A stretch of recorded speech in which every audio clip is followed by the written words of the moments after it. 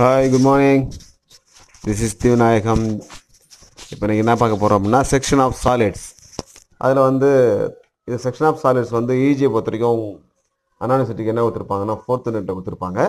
So fourth நெட்டை ஒரு simple பேசிக் problem பார்க்க போகிறோம் என்னென்னா ஸ்கொயர் பிரமிடு இப்போ நீங்கள் பார்க்குறது தான் அது ஆன்சரு எப்படி நம்ம சால்வ் பண்ணுறோங்கிறது பார்ப்போம். ஓகேங்களா? லட்சி எப்படி ப்ராப்ளம் பாருங்கள் a square pyramid of base 40 mm. and axis height 65 mm long is resting on its base on HP with all sides equally inclined to the VP. VP க்கு inclined inclined இருக்குது. It is cut by an an- angle inclined at the 45 degree to the HP and bisecting the axis. Bisectனா பாதியில் வருது height so பேஸ்லேருந்து பாதி அளவு எவ்வளவு sixty ஃபைவ்னா thirty two point five வரும் ஓகேங்களா so draw its front view sectional top view And true shape of the செக்ஷனரி கேட்டிருக்காங்க. சரி எப்படி சால்வ் பண்ணுறது பார்ப்போம். ஸோ ஃபஸ்ட்டு என்ன பண்ண போகிறீங்க எக்ஸ்பை லைன் போட்டுற போகிறீங்க திஸ் இஸ் நம்ம வந்து காமனாக போடுற லைன் கீழே வந்து ஹெச்பி மேலே வந்து விபி இருக்குது ஸோ அதுலேருந்து ஒரு அப்ராக்சிமேட்டாக ஃபிஃப்டீன் அல்லது டென் எம்எம் வச்சுக்கிறீங்க. ஒரு பாயிண்ட் மார்க் பண்ணிக்கிறீங்க. ப்ரொடக்டர் அந்த சென்டராக வச்சுக்கிறீங்க. ஸோ லெஃப்ட் சைடில் ஒரு ஃபார்ட்டி ஃபைவ் டிகிரி ரைட் சைடில் ஒரு ஃபார்ட்டி ஃபைவ் டிகிரி மார்க் பண்ணிக்கிறீங்க ஸோ மார்க் பண்ணுற பாயிண்ட்டையும் சென்டர் பாயிண்ட் வச்சு லைன் போட்டுக்கிறீங்க. சரியா? இந்த மாதிரி போட்டுக்கிறீங்க. போட்டிங்களா? இப்போ மினிட்ராப்டர் வச்சுட்டு ஃபார்ட்டி எம்எம் மார்க் பண்ணி லைன் இந்த பக்கம் மார்க் பண்ணுறீங்க இது வந்து பேரலாக வச்சுக்கிட்டு இந்த பக்கம் பர்பண்டிகுலராக வருது இல்லையா? அந்த ஃபார்ட்டி எம்எம் mm வைக்கிறீங்க. ஏன் ஃபார்ட்டி எம்எம் mm வைக்கிறீங்க? ஏன்னா ஸ்கொயர் பிரமுடைய சைடு வந்து ஃபார்ட்டி எம்எம் mm. சரியா? அப்புறம் இந்த பக்கமும் எட்ஜியும் ஃபார்ட்டி எம்எம் மார்க் பண்ணுறீங்க மேலேயும் ஃபார்ட்டி எம்எம் மார்க் பண்ணி இந்த ஸ்கொயர் பிரமிடு முடிக்கிறீங்க. ஸோ கையோட அந்த ஆக்சிஸ் அதோடைய கார்னர்லாம் ஜாயின் பண்ணி பிரமிடு இல்லையா? மேலேருந்து பார்த்தா அது தெரியணும். பட் இது வந்து செக்ஷன் ஆஃப் சாலிட்ஸுங்கிறதால நம்ம இந்த லைட்டாக போடணும். அப்புறமா தான் என்ன பண்ணிக்கணும் டார்க்னஸ் பண்ணிக்கணும். ஓகே இப்போ என்ன பண்ணிக்கிறீங்க? ஹைட்டு இது எல்லாமே எக்ஸ்டெண்ட் பண்ணிக்கிறீங்க. ஸோ ஏபிசி நேம் கொடுத்துருக்கீங்க. A dash B dash C dash D dash ப்ராக்கெட்டில் வரும். ஏன்னா பின்னாடி இருக்குது அப்புறம் ஓ டேஷ் அப்பக்ஸ் இல்லையா? ஸோ எவ்வளோ ஹைட்டு சிக்ஸ்டி ஃபைவ் எம்எம்ல ஹைட்டு அதை போட்டாச்சு. ரைட்டுங்களா ஸோ இது முடித்த உடனே இப்போ பைசெக்டிங் த ஆக்சிஸ் கீழேருந்து தேர்ட்டி டூ பாயிண்ட் ஃபைவ் இல்லை மேலேருந்து தேர்ட்டி டூ பாயிண்ட் ஃபைவ் எடுத்து ஒரு பாயிண்ட் வைக்கிறீங்க இல்லையா? ஹரிசான் லைன் போடுறோம். ஸோ அந்த லைன்லேருந்து ஃபார்ட்டி ஃபைவ் டிகிரி மார்க் பண்ணுறீங்க இந்த பாருங்கள் ப்ரொடக்டர் வச்சு அந்த மாதிரி மார்க் பண்ணிருக்கோம் இல்லையா? அந்த மாதிரி வச்சுக்கிங்க. மார்க் பண்ணிவிட்டு மார்க் பண்ண பாயிண்ட்டையும் சென் அந்த சென்டர் பாயிண்ட் பைசெக்ட் பண்ணுற இடத்துக்கு இல்லையா? அதை வச்சு லைன் ஒன்று போடுறீங்க. அந்த லைனை வந்து ஹரிசான் லைன் கீழே அந்த எக்ஸ்பை லைன் வரைக்கும் என்ன பண்ணிக்கிறீங்க? எக்ஸ்டெண்ட் பண்ணிக்கிறீங்க. ஸோ இந்த மாதிரி மினிட்ராஃப்டர் வச்சு அந்த ஸ்கேல் வச்சு அந்த லைனை எக்ஸ்டெண்ட் பண்ணிக்கிறீங்க. ரைட்டா ஸோ அது கையோடு என்ன பண்ணுறீங்க அந்த எண்டு பாயிண்ட் இருக்குது பாருங்க. இப்போ இந்த இடம்.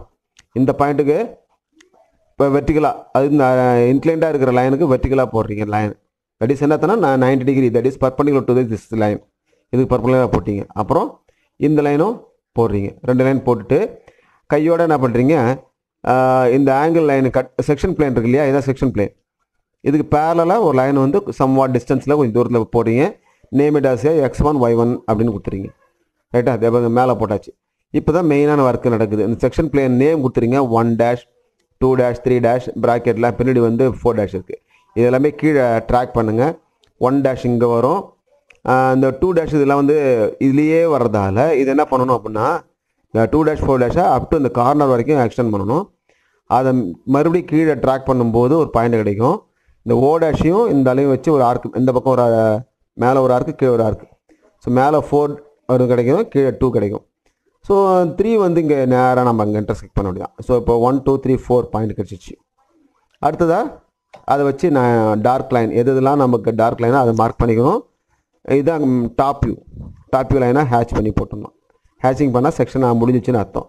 ரைட்டா ஸோ நெக்ஸ்ட்டு இப்போ அடுத்ததாக என்ன பண்ணணும் பாருங்கள் இது கொஞ்சம் கவனிங்க.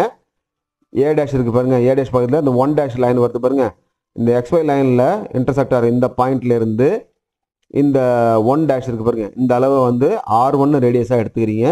கையோட இந்த லைன் அப்படியே எங்கே போகுது? இந்த பக்கம் போதா from X one Y line இருக்கு பாருங்க. இந்த இந்த பக்கம் பாருங்க. இந்த இடத்துலேருந்து அதே அளவுக்கு திரும்பி ஆர்க் அடிங்க so name it as A one one dash ரைட்டா அடுத்தது ஃப்ரம் த ஓ டேஷ் இந்த பி டேஷ் இருக்குது பாருங்க. பி டேஷ்லேருந்து இந்த டூ டேஷ் அளவு காம்பஸில் எடுக்கிறீங்க. தட் இஸ் ஆர் டூன்னு நேம் எடுத்துக்கிறீங்க. அதே லைன் எங்கே இன்டர்செக்ட் ஆகுது? இந்த பக்கம் போகுதா? ஸோ இந்த எக்ஸ் ஒன் ஒய் ஒன்ல இந்த பக்கம் இன்டர்செக்ட் ஆகுது இல்லை இது சென்டர் பாயிண்டை வச்சு அதே அளவு வச்சு ஆர்க்கும் கட் பண்ணுறீங்க name it two one dash அப்புறம் இந்த த்ரீ ஒன் டேஷ் இதுலேருந்து இந்த ஃபோர் அளவு இருக்குல்ல? இந்த அளவு காம்பஸ் ஆர் த்ரீன்னு எடுத்துக்கிறீங்க.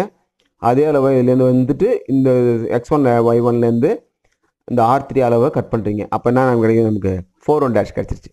இன்னும் ஒன்றே ஒன்று தான் த்ரீ ஒன் டேஷ் தான். இது என்ன பண்ணுறீங்க இந்த த்ரீ ஒன் டேஷ் இந்த லைன் இருக்கு இல்லையா? இதிலிருந்து இந்த அளவு எடுக்கிறீங்க. ஆர் ஃபோர் ரேடியஸ் ஃபோர்னு கன்சிடர் பண்ணிவிட்டு எடுத்துக்கிறீங்க. இதே லைன் எங்கே வருது? அப்படியே வந்து பார்த்தீங்கன்னா இங்கே வருதா?